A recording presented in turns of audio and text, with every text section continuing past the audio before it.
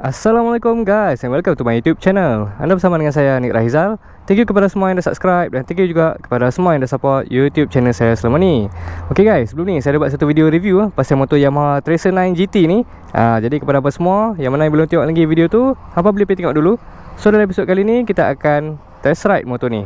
Okay, so macam ni lah rupa dia. Bila kita dah ada kat atas motor Alright, ni dia punya fuel tank. Uh, Fuel tank dia memang besar kau ya. Ni dia punya handlebar Side mirror apa semua lah jadi motor ni dia masih menggunakan kunci lagi. So cara nak start dia macam biasa. Masukkan kunci kat sini. Pusing kunci ke kanan. Okey. Panometer pun dah menyala. Ha, Cuma panometer dia ni bila time tengah panas Dia tak berapa tak berapa terang sangat Tak berapa jelas sangat. Boleh lah. Kalau tengok depan-depan ni Still nampak lah. Ha, Cuma dalam kamera dia tak berapa jelas sangat. Cara nak start dia Macam biasa. Tekan je. Ignition switch ataupun starter Okey. Ha, enjin pun dah hidup. Motor ni dia 3 silinder ah. Ha, bunyi dia kalau hampa dengar ah. Dia kalau 2 silinder dia bunyi padat tau. Kalau 4 silinder dia bunyi smooth. So 3 silinder ni dia tengah-tengah. Ha, antara bunyi padat dan juga bunyi yang lembut. Ha, tapi sedap lah layan enggak bunyi dia. Kita try rem sikit. Perangat sikit. Actually Sebelum ni Saya dah buat tau Satu video test ride ni lah. Okay Video test ride ni saya dah buat Dekat atas highway. So masa tu saya On the way daripada Penang Nak ke KL So saya ingat Alang-alang tu Kita test ride lah motor ni kan. Ha, Test ride dekat highway Baru lagi best. Cumanya keadaan tak menyebelahi saya. Masa saya tengah duduk test ride tu Hujan pula dah kan. Ha, Sempat lah ambil beberapa footage Tapi Tak sempat nak bagi complete the whole video lah. Jadi that's why lah Kali ni saya kena repeat balik video ni ha, Daripada mula. Cumanya lagi Mungkin saya akan attach sikit lah Footage-footage yang ada Yang mana yang boleh membantu Dalam video ni. Alright? Hari ni cuaca Okay Cun-cun lah. Dia nak kata panas sangat pun tak Mendung sangat pun tak. Ha, Just nice lah. Okay Saya tak sabar ni Tok visor dulu Okay So dalam video ni Saya akan share kat apa Macam mana feel dia Bila kita naik motor ni. Daripada segi dia punya seat Riding position, suspension, handling, cornering dan lain-lain. Okay, masuk gear dulu. Alright, jom kita test tengok. Bismillahirrahmanirrahim. Let's go.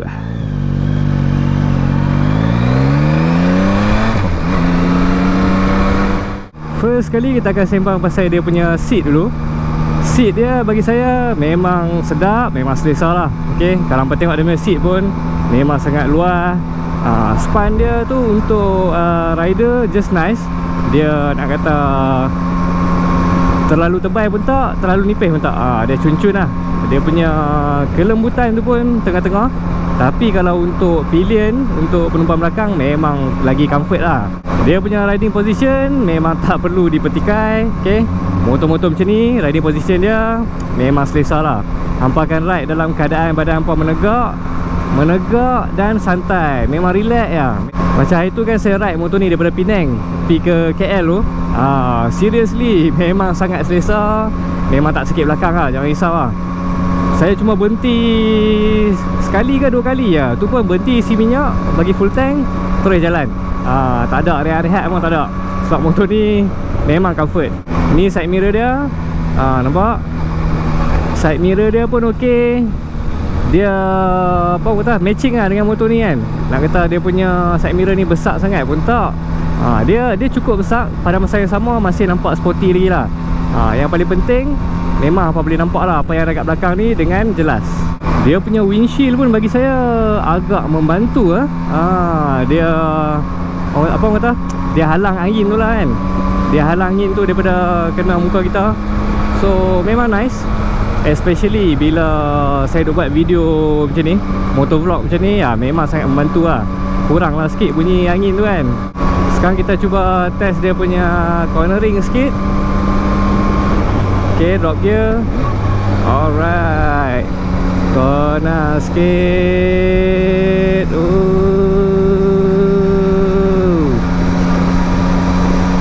Ooh, Nice. Wah. Okay, so cornering dia macam mana nampak Okay, still okay Sesedap rasa lah. Ha, Tapi senang cerita motor ni Lebih sesuai untuk ride dekat atas highway lah Jalan-jalan yang besar Jalan-jalan yang luas ha, Memang lagi ngam lah ha, Itu masa saya test bawa motor ni kat atas highway ha, Memang best dia punya handling Dia punya cornering apa semua memang cun. Tambah bila dekat Bukit Simpang Pulai tu kan ha, Memang layan lah Kita test dia punya brake sikit. Yeah Oh memang nice.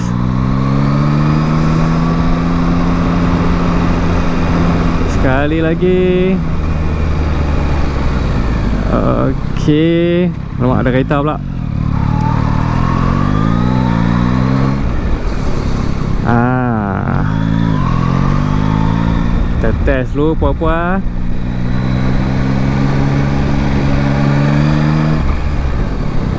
Fuh Grip bila weh.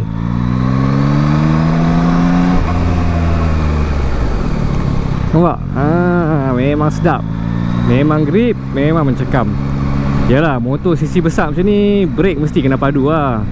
Kalau tidak bahaya balik motor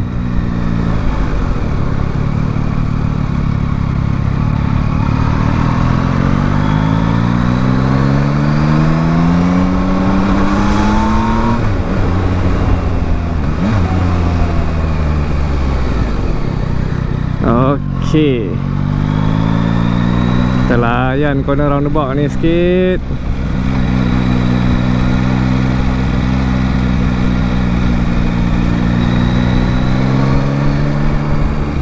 Sekarang kita akan test dia punya suspension sikit. Ah, Actually Saya dah tahu dah macam mana suspension dia tahu Sebab hari tu kan saya dah test motor ni kau-kau dah Daripada Penang PKL apa semua. Ha, Cumanya ni saja kita ambil feel balik. Okay naik bumper. Ah, Okay Satu lagi Alright. So Dia punya Suspension Nak beritahu apa? Suspension dia Dia sedap lah Dia sesedap rasa. Ha, Tapi dia lebih kepada keras sikit tau. Sebab apa? Sebab motor ni kan besar. Besar, tinggi Dengan berat apa semua kan. Ha, So suspension dia memang kena keras lah Kalau tidak Kalau dia buat bagi suspension lembut Bila hampa tengah bawa laju ni Memang bergoyang lah Memang tak tak safety langsung lah ha, So bila dia buat suspension macam ni Sesuai lah dengan uh, konsep motor ni kan. Ha, Tapi dia tengah-tengah tau. Nak kata keras yang bumpy sangat pun tak. Dia punya keras tu membuatkan motor ni stable. Ha, Tapi disebabkan motor ni tinggi Dia still dapat serap segala hentakan tu dengan baik. Ha, Faham tak? So walaupun suspension dia keras sikit Tapi motor ni still sedap Dan uh, tak terlalu bumpy Lepas tu motor ni dia punya suspension adjustable tau. Kan hampa boleh adjust. Dia ada dua mode kat situ. Ha, So nanti hampa boleh lah adjust. Ikut pada masing-masing punya preference lah. Ha, Mana satu yang lebih sesuai dengan hampa. Ok guys. Sekarang ni saya akan demo kat hampa. Cara-cara untuk kita activate dia punya cruise control. First sekali hampa perlu tekan button tengah ni. Ok Tekan button tengah ni sekali. Ha, Then dia akan keluar indicator Nampak? Dia akan menyala ni warna kuning ni. Ok lepas tu Set saya cuba maintain speed bagi 100 eh. Ok then Hampa tekan button set ni. Ha, Bila hampa dah tekan button set Nampak? Tak perlu lah pulas throttle. Dia jalan sendiri. Ha, So hampa boleh lah relax Santai-santai kan? Sok-kok apa lu. Ok ha, Nampak? Dia jalan sendiri. Main apa tepuk amai-amai ke apa ke. Ha, Ikut hampa ha, Tapi benda ni Cuma boleh buat atas highway lah. Kalau dekat Dalam bandar tu memang tak digalakkan lah. Okay so bila hampa dah relax santai apa ke Then Kalau hampa nak pergi laju sikit Hampa boleh adjust. Dia punya plus minus kat sini. Okay So dia akan naik 2-2-2 tau. Macam sekarang ni 100 eh So kalau hampa tekan 5 kali 1, 2, 3, 4, 5 Dia akan jadi 110 lah Ha nampak? 110 Hampa nak laju lagi? Naik lagi 5 Hampa ikut Hampa nak naik lagi 1 Lagi 2 pun boleh lah. Contoh tekan 2 kali kan? 1, 2 ha, Dia jadi 114 Nampak? Ha, Kalau hampa asal laju sangat Hampa nak pergi slow sikit Hampa tekan yang Minus ni Nampak? Yang button set ni lah. Hampa tekan Contoh hampa tekan 2 1, 2 ha, So dia akan kurangkan jadi 100 10 Nampak ha, Macam tu je lah. Okay so contoh lah Hampa bawa 1.4 lah contoh. 1, 2, 3, 4, 5 1, 2, 3, 4, 5 Sekarang ni berapa? 1, 3 eh. Ha, 1.3 pun boleh lah Contoh. Hampa buat macam ni kan? 1.3 ni hampa dah maintain. Tiba-tiba ada kenderaan kat depan ke apa-apa So hampa dah tak mau pakai lah cruise control ni. Apa yang hampa perlu buat cuma hampa tekan brake lah. Ha, Tekan brake. Okay so dia dah deactivate cruise control. Ha, So hampa kena guna throttle macam biasa balik lah. Kita akan test dia punya quick shifter sikit. Let's go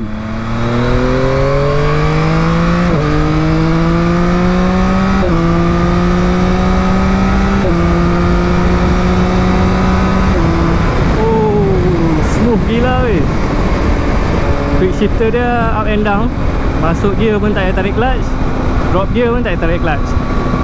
Kita test. Dia punya downshift pula drop gear oh. Oh lama smooth lah memang nice lah ok satu lagi benda yang perlu tahu motor ni kan motor cc besar kan. Ha, engine dia powerful. So bila hampa ride lama-lama dia apa akan rasa macam bahang sikit lah. Ha, Dia cepat panas sikit lah. Especially dekat uh, Tank ni lah. Ha, Kaki hampa kan duk kepit tank kan. So hampa akan rasa berpeluh sikit dekat bahagian paha ni lah. Okay? Ha, Tapi kalau ride dalam hujan ni Sejuk-sejuk ha, Memang shock Memang layan lah. Okay rasanya Sampai sini je lah kot Video kita pada hari ni. So kalau hampa nak tahu Dia punya top speed apa semua Hampa kena Stay tune untuk next video Ok guys, so rasanya sampai sini je video kita pada hari ni. Stay tune untuk next video. Jadi kalau anda suka video ni Jangan lupa like, comment dan share. Jangan lupa subscribe. InsyaAllah kita jumpa lagi pada video yang akan datang. Assalamualaikum